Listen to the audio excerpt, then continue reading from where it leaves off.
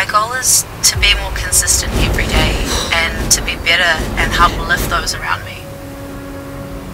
Looking back, I got complacent with where I was. I just really didn't know who I was, where I wanted to go, and what I wanted to be. Um, I've learned to actually start giving more to myself, making sure I had time in my day to go and do things like training and doing my own sessions, taking time to meditate and do breath work. If I can win these moments every day, these small moments, then I can take those to those around me, my friends, my family, my clients, and we can all win together. Everyone has a different version of being better. You've just got to find what makes you tick.